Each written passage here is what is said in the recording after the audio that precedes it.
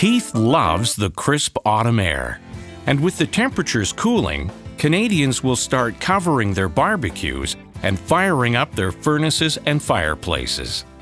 Keith knows that Alberta has a lot of natural gas, and, like most Albertans, he relies on it to keep his family warm during the cooler months. Keith wonders how is natural gas extracted, and is it safe? He is about to have a conversation with Michelle, who works for the AER as a geologist or a rock expert. It's so nice to warm up and enjoy a conversation that really matters. Michelle tells Keith that most of our natural gas is extracted using a technique called hydraulic fracturing, or fracking. Keith has heard concerns about hydraulic fracturing and asks if hydraulic fracturing is so controversial, why do we even allow it? Michelle points out that hydraulic fracturing has been used in Alberta since the 1950s, and more than 100,000 wells have been drilled using the technique. In fact, hydraulic fracturing is now the standard approach used to extract natural gas in Alberta.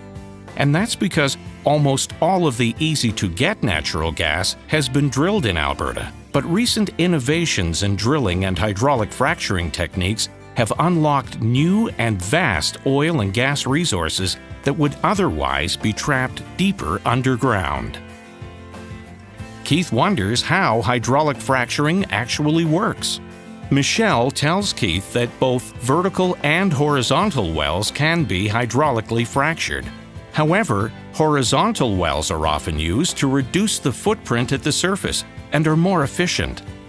For example, an operator can use this method to replace eight vertical wells with one horizontal one and drill from a single place.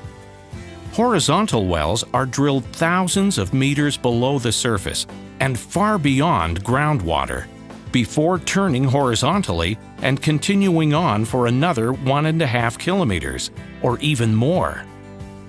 Once the well is drilled, fluids are pumped into the well to create enough pressure deep underground to crack the rock, allowing the oil or gas to flow. The fluids usually have a proppant, like sand, that helps keep the cracks open to allow the oil and gas to flow to the well. The fracturing that takes place at multiple locations along the horizontal wells is called multi-stage fracturing. Keith has heard a lot about fracturing fluid and wonders what it is and what's in it. Michelle tells Keith that the fluid an operator uses depends on factors such as depth and location of the well and the kind of rock that holds the oil and gas.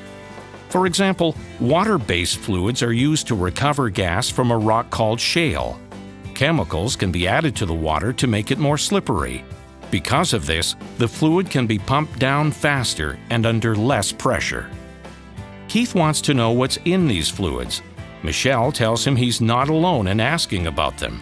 That's why the AER requires operators to report the types and amounts of chemicals they used, along with how much water was needed and where they got it from, for every hydraulic fracturing job. She tells him he can find the information on the web at fracfocus.ca. Michelle wants Keith to know that the AER regulates hydraulic fracturing to make sure the public is safe and the environment is protected. If a company wants to drill, they start the process by leasing the mineral rights from the Alberta government. Then, the company drafts their project plans while consulting with stakeholders allowing their concerns to potentially influence the design. After listening to the communities and completing complex site and project assessments, the company must submit a detailed application to the AER. The AER then reviews the project, which can take several months to complete and sometimes involves public hearings. If the AER determines that all application requirements have been met, it will issue an approval or an approval with conditions. And their job doesn't end there. Once the project starts, the AER will carry out inspections during construction and operation to make sure all the rules are followed. If problems are found, the AER takes action to enforce the rules in a variety of ways. Consequences for breaking them can be very serious and include conducting more frequent inspections, issuing large fines, carrying out prosecutions, or even shutting in operations.